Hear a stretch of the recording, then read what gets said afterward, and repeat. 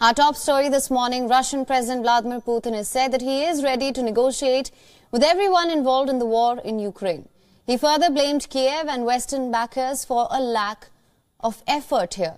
The Russian president made the remarks during a state television interview, excerpts of which were aired on Sunday. Действуем в правильном направлении. Мы защищаем свои национальные интересы, интересы наших граждан, наших людей, повторю еще раз.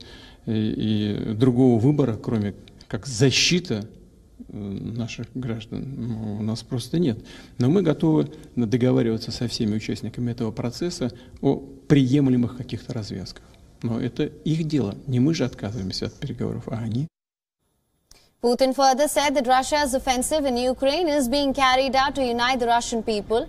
He used the concept of historical Russia to argue that Ukrainians and Russians are one people. Arguing that Russia's geopolitical opponents were aiming to tear apart Russia. Apart from this, Putin asserted on how Russia was 100% confident in destroying the United States Patriot missiles, which Washington has promised to send to Kiev. Now, the comments from the Russian leader come a day after the Russian shells pummeled the southern Ukrainian city of Kherson, killing at least 10 people and wounding 58 others. Air raid sirens were also heard across all Ukrainian regions, but no new Russian attacks were reported.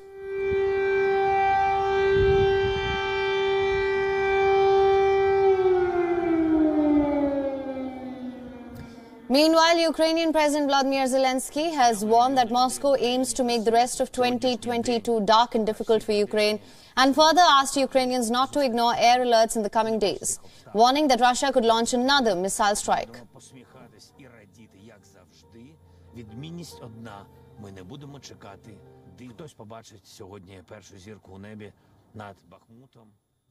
WION is now available in your country. Download the app now. Get all the news on the move.